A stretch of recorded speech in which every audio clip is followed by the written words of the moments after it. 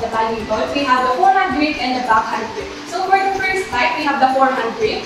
So ganito lang yung technique guys, para magawa natin forehand grip. So from the string, pababa. And then, yan. Ganun po ang forehand grip.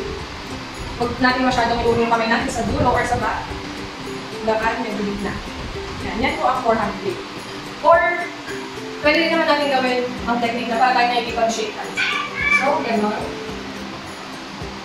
Yan. So, huwag po natin masyadong higpitan ang paghawak. Dapat relax lang. Yan.